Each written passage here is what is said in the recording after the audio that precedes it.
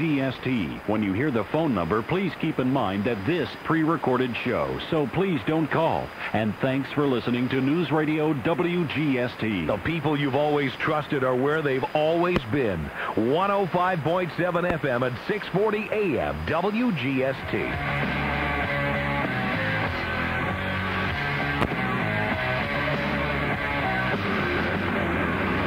20 minutes after the hour, the Tom Leykis Show.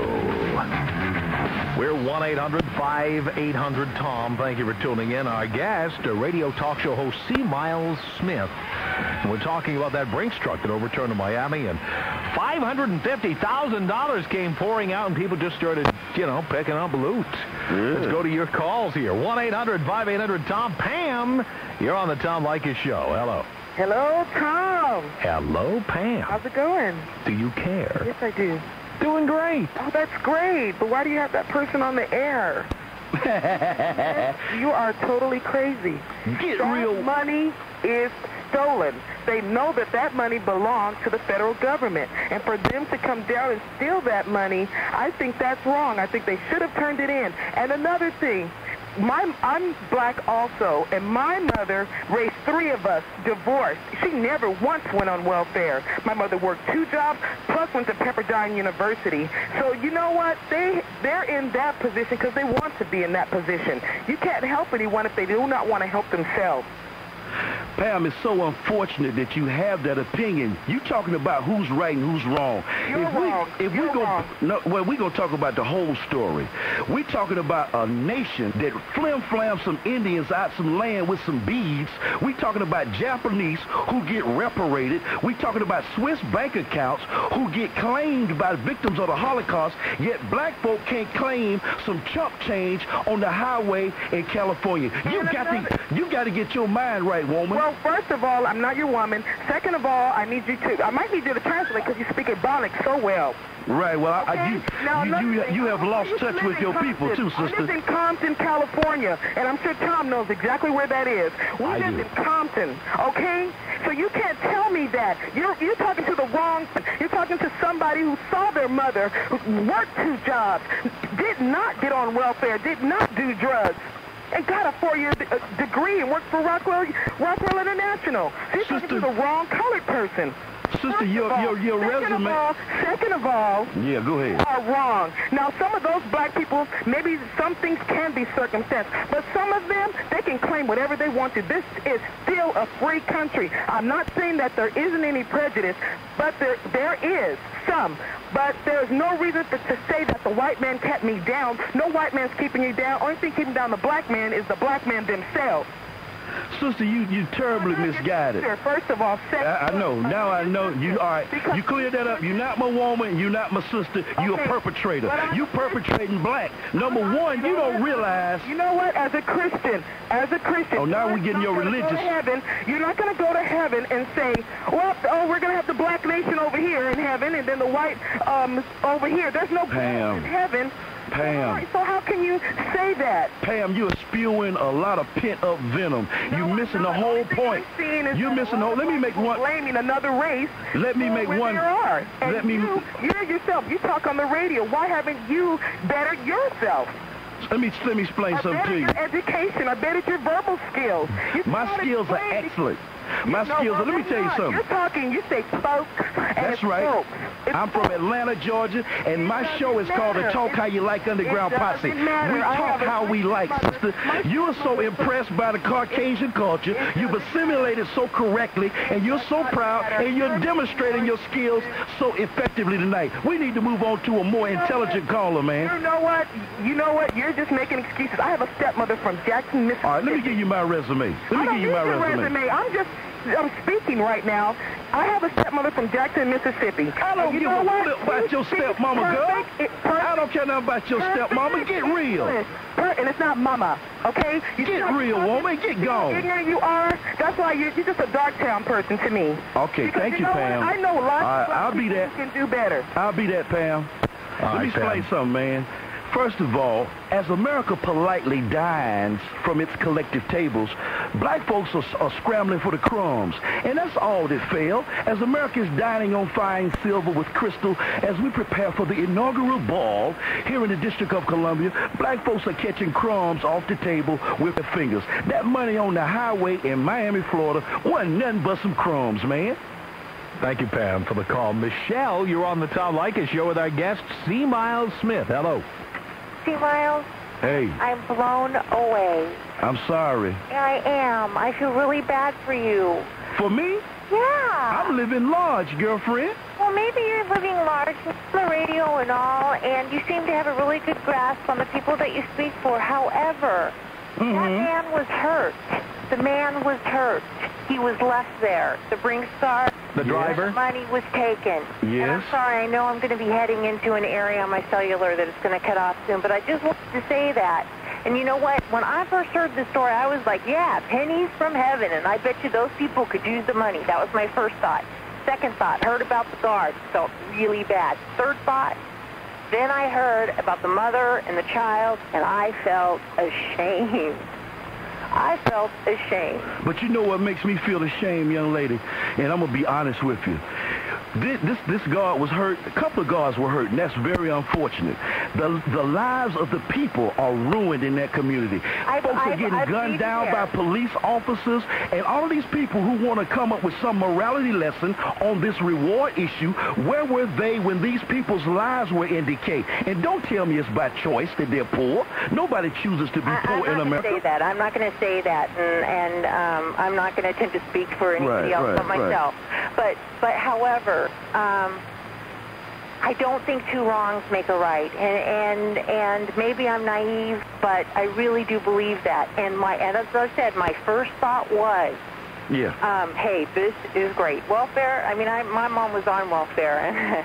What's your name again? my name is Michelle. Michelle, you you intelligent young lady. You I recall you recall the the uh, history of America back during the West when folks got in Conestoga wagons and set fire to the horse's butt, and as far as they rode, they could claim all the land they wanted. Didn't nobody step up and say, "Hey, give these Indians their land back"? These know, folks but you built know dynasties that money on that. is yours and mine. That money isn't just the government; it's yours and mine. But it's not a We yours and mine. Yes, It's a it's, it's not it's not. It's an us versus them scenario in the ghetto, unfortunately. Well, I, I wish that there was a way that we can, and I'm not just saying this, I really mean this. I wish there was some way that we could build a bridge so it's not the us versus them. Because you know what? There Mhm. are people who are sincere and who want to make a difference on Michelle. both sides. Michelle, they're building jails as we speak right now for the little boys that are living in Overtown. They would rather spend, and I'm talking about the government, us versus them, they would rather spend big money on warehousing adults than they would on the front end educating young people.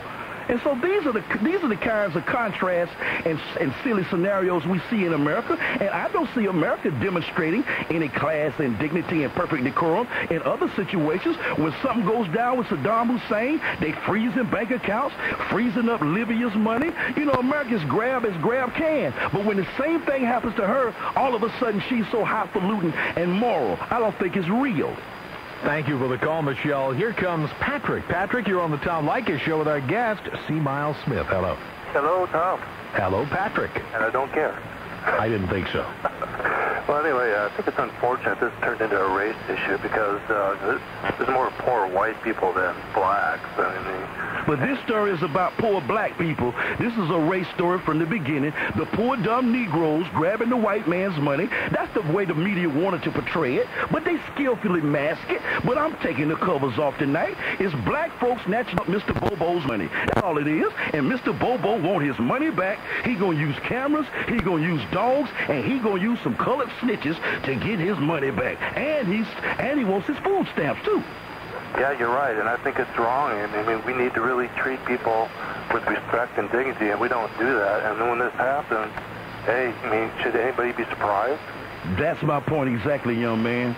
Go for it, T-Mile. All right. I look at the Incas, uh, Tom, the Aztecs, the Ararats, the Algonquins, the Iroquois, the Sioux, the Cherokee, the Mohawk, and even my people who were allegedly flim-flammed out of 40 acres and a mule. I wonder how much it costs nowadays to get a mule. yeah, well, you can buy a few with that Brinks money, I'll tell you that. Oh, I'm telling you. There you go. C. Miles Smith is our guest. He's a radio talk show host based in Baltimore and Washington, D.C., and uh, he's joining us uh, to talk about that Brinks truck that overturned in Miami, uh, spilling about $550,000 onto the streets below the highway.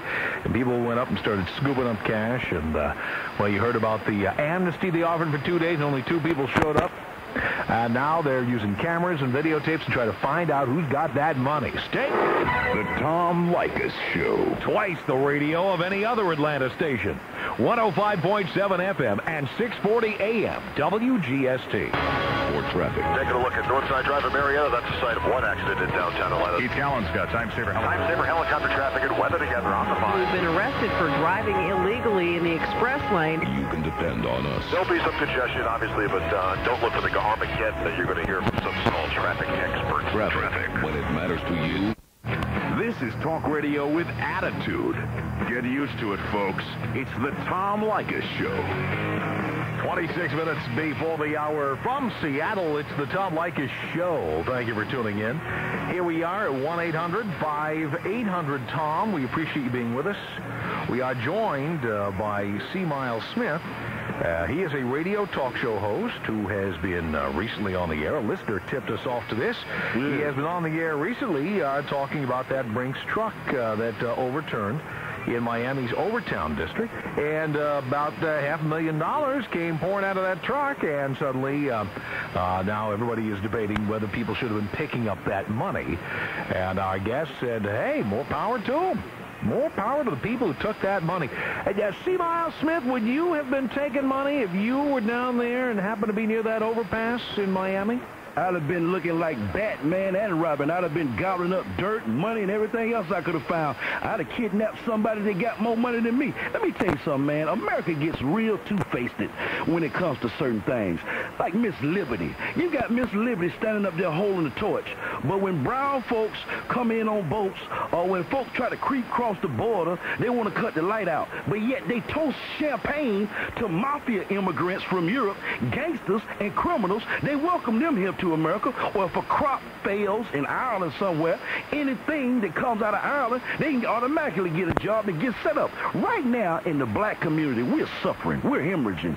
And part of that hemorrhaging is due to the bloodsuckers in our community. When I say bloodsuckers, I'm talking about those people from a foreign land who have studied our consuming habits, who set up these economic black holes that suck up our money. If they want to get most of that money back, I suggest they go to the Korean merchants out there in Miami. How many Korean merchants are in Miami? I, I lived in Miami. I don't remember that.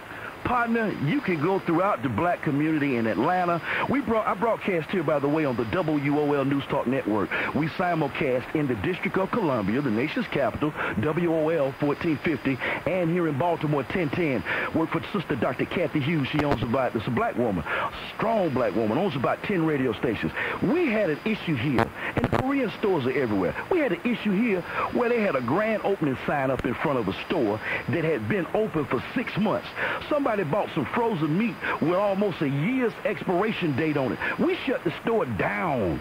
We shut the store down. And then people said that we were fanning the flames of racism because we stopped the pirates from selling poison meat in the community. Folks are uh, nipping at our heels like they do on the Wild Kingdom when the antelope go across the prairie. You got bloodsuckers, coyotes, hyena, wolves snipping at our heels. And all of a sudden, we graze on a little grass. Everybody wants us to regurgitate. I say, no way. Why, are you trying to say that all the problems in the black community are the caused uh, are caused by Koreans and Caucasians and everybody else but black folks? Tom, I wouldn't be that ignorant. But you have to understand that if you have a, a female, just like put it in a, in a woman's perspective, if you got a woman who has been raped, she's in a trauma, a traumatic situation. She's in trauma. She's going to have to have some counseling. She's going to have to get dealt with so that she can overcome her emotional distress.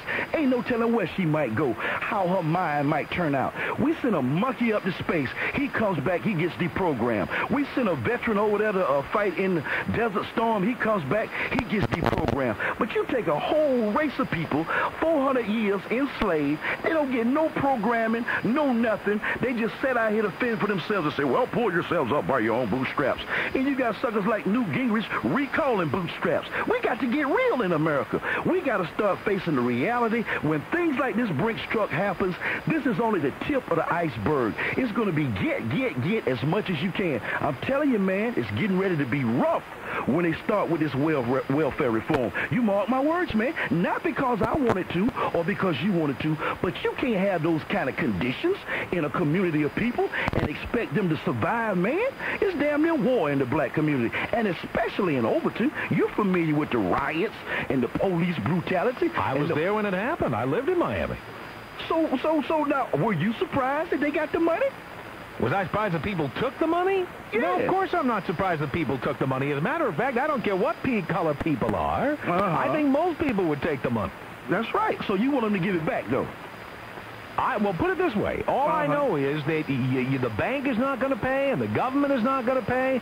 Eventually, it's going to be taken up by the insurance companies, and the insurance company's going to pass it on to us in the form of higher costs for car insurance, bounce checks at the bank, and stuff like that. So eventually, we're all going to pay for it, including you. No, sir. And I'm gonna tell you why.